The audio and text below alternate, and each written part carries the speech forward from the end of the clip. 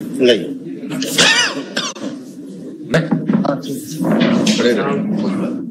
हाँ sir same case है। उसका भी वेटिंग लिस्ट के लिए निकाला नहीं गया है सर। कहाँ गया? सामान्य प्रशासन को तो सर मैं बहुत देर से सर फ़ोन सर छह महीने से नव वर्ष की शुभकामनाओं के बीच अब जब जनता दरबार की पहली सोमवार थी तो छह लोग कोरोना पॉजिटिव पाए गए हैं और दहशत में पूरा जो जनता दरबार है, जो वहाँ मौजूद कर्मचारी हैं, वो नज़र आए और जैसे इस बात की जानकारी सूबे के मुख्यमंत्री नीतीश कुमार को लगी तो सीएम साहब कुर्सी छोड़कर खड़े हो गए।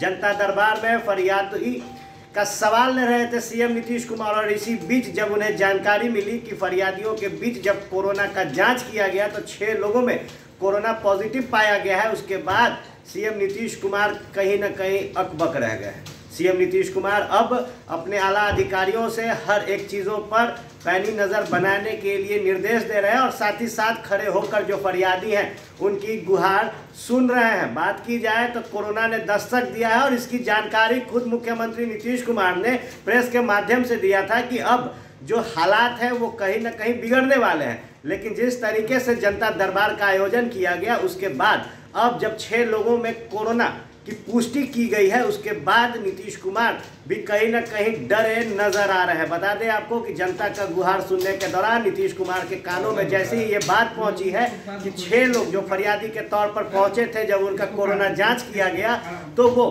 पॉजिटिव पाए गए तो नीतीश कुमार अपनी कुर्सी छोड़कर उठ गए और अब खड़े होकर ही सीएम नीतीश कुमार लोगों का फरियाद सुन रहे हैं। बात की जाए तो नीतीश कुमार भी कहीं ना कहीं आज जब जनता दरबार में पहुँचे थे, उस दौरान उनके भी गले में जो खराश थी वो नज़र आई थी। सीएम नीतीश कुमार भी खांसते नज़र आ रहे थे।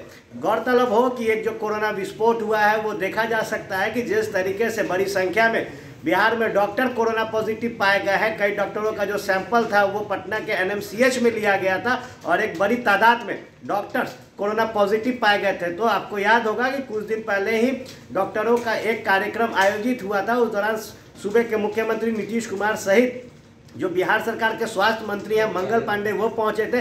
शिक्षा मंत्री विजय कुमार पहुँचे थे और जो विधानसभा के अध्यक्ष थे विजय सिन्हा वो भी उस कार्यक्रम में मौजूद थे। और अब जब कोरोना अपना पैर पसार रहा है बिहार भी त्राहिमाम कर रहा है ऐसे में बड़ी खबर ये निकल कर आई कि जनता दरबार में फरियादियों का जब गुहार सूबे के मुख्यमंत्री नीतीश कुमार सुन रहे थे उस दौरान छः लोगों का कोरोना सैंपल लिया गया और उसमें वो पॉजिटिव पाए गए। हालाँकि लगातार जो फरियादी सीएम नीतीश कुमार तक पहुँच रहे हैं, उन तमाम लोगों का कोरोना जाँच किया जा रहा है। और जब छह लोग कोरोना पॉजिटिव पाए गए तो नीतीश कुमार ने भी अपनी कुर्सी छोड़ी। अब देखने वाली बात होगी कि जहाँ तेज़ी से कोरोना अपना पैर पसार रहा है, वहीं कई जो राजनीतिक कार्यक्रम है, वो भी चल रहे हैं। बात की जाए तो तमाम जो राजनीतिक दल है, वो छोटे या बड़े पैमाने पर अपने नेताओं के साथ बैठक भी कर रहे हैं।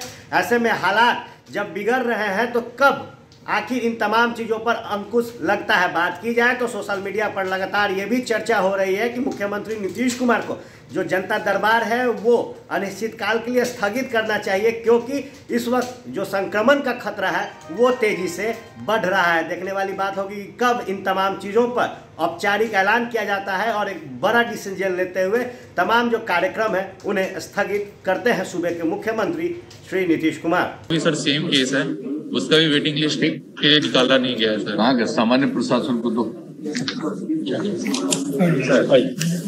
सर मैं बहुत देर से सर फ़ोन सर छह महीने से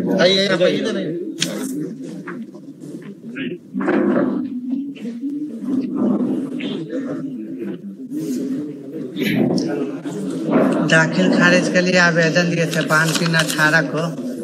आठवां वाला ब्लॉक में अभी तक नहीं हुआ। बोला क्या हाँ। क्या हुआ?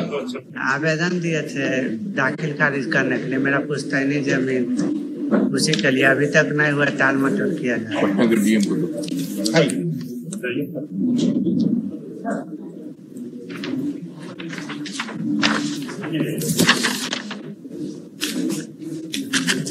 नहीं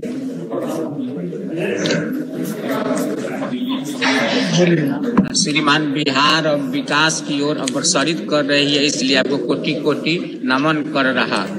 श्रीमान, वर्ष 2011 में मैं आपके जनता दरबार में उपस्थित होकर एक आवेदन दिया था।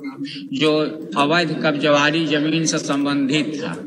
आपने श्रीमान देश दिए, डीसीएलआर यहाँ मुकदमा चली, लेकिन रायके- भ्रष्टाचार के रायकेट चैनल के कारण श्रीमान मुझे न्याय नहीं मिला।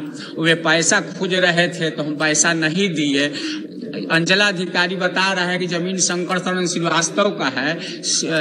कर्मचारी रिपोर्ट दे रहा है कि शंकर शरण श्रीवास्तव का है। फिर भी श्रीमान हम ज़मीन से बेदखल हैं और जब ज़मीन पर जाते हैं तो लाठी डंडा से पार पहरा पहाड़ की जाती है। प्रहार की जाती है श्रीमान। जिला प्रशासन मदद नहीं करता है श्रीमान। इसीलिए आए। आइए। तुरंत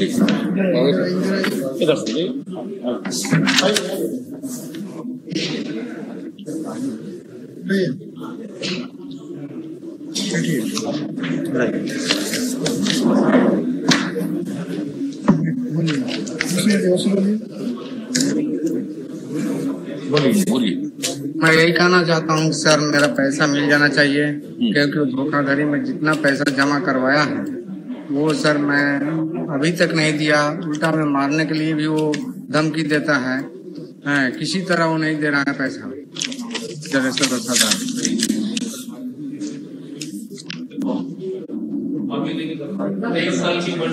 कोर्ट